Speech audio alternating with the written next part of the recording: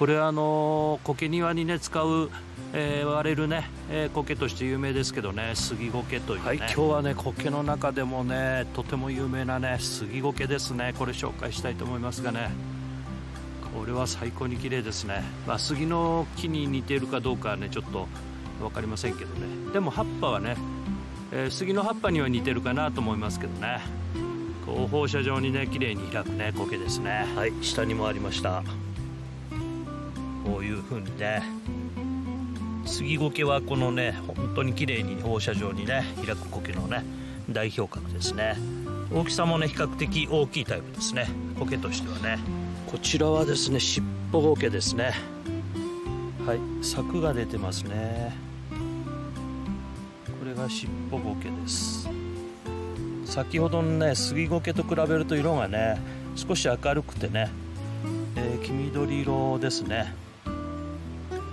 そしてねあのこの苔は杉苔よりもね葉っぱがこうね放射状ではなくて少しこうね乱れた感じというか手方向に向くような感じもありますね、はい、そして放射状にね開く苔の、えー、3つ目はこれはね卵苔ですね。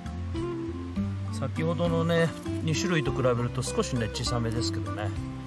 この苔もね淡いグリーンがとっても綺麗でねえー、林の中ではねよくね目立つ遠くからでもねよく目立つとても綺麗な苔の一つですね。卵苔です。はいこちらも尻尾苔ですかね、えー、先ほどの苔よりこう日陰ですのでねここはね少しね色がね濃っこいですね。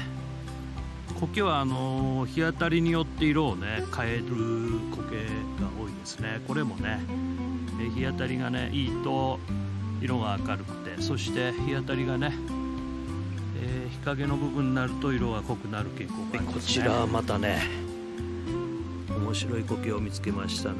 これはね杉苔ですけどね先ほどの杉苔よりもね葉っぱがこうねちょっとこう幅が広くてね、えー、少しこう下へね垂れるような形で生えることが多いですねこの苔。これね蓬莱杉苔と言いますね。葉っぱがねこう少しこう全体が平べったい感じでね。そして葉っぱがこう、えー、幅があるというかね。ちょっとこう平べったい感じがしますね。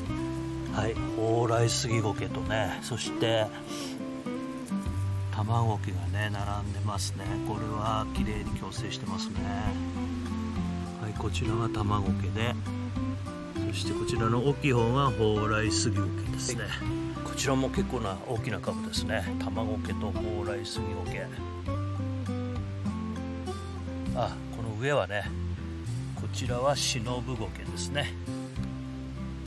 はい苔界定番のね、えー、苔玉なんかによく使われる忍ぶ苔ですね。はいこちらも大きなね卵桶の大きなこれは群生ですね。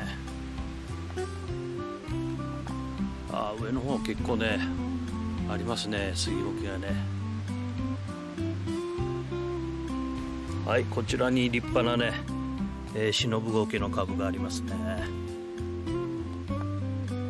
この苔はねあのよく見るとこう葉っぱがね細かくねこうギザギザしているというかね細かい葉っぱがいっぱい揺れ集まってね一つの葉っぱの形になっています。ね見落とすところでしたね。この足元のね石のね間からこれ生えてるのこれもね杉苔ですね。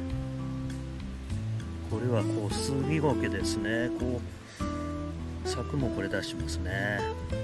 杉苔の中ではね小さいタイプでね小杉苔と言います。この小杉苔はね色が少しこうパステルっぽいっていうかねパステル調っぽいグリーン緑色はしていますね。はいまた面白いものを見つけました。これはね苔ではなくてね万年杉と言いますね。苔よりはねかなり大きいですけどね。万年杉と言います。はい結構生えてますねこの辺ね。これもね苔盆栽とかね苔テラリウムなんかにも使っても面白いかなと思いますね。はいこの大きな石の上ですけどねこれは何苔でしょうか？あこれはちょっと見たことない苔ですね。はいこの下はですねこれはもうねはいえー、忍ぶ苔ですね。これはちょっと何苔かちょっと判別ができないですね。ありました。綺麗な小坪さんですねこれね。小坪苔ですねうん。小坪というぐらいでねそんなに大きな苔じゃないですけどね。はい綺麗なねグリーン。透き通るような感じでねとても綺麗な苔ですね。はいこちらの方には綺麗な忍ぶ苔だ、うん、色がね鮮やかですねこの辺はね。あこちらのね岩もすごいですねもう一帯が全部忍ぶ桶です。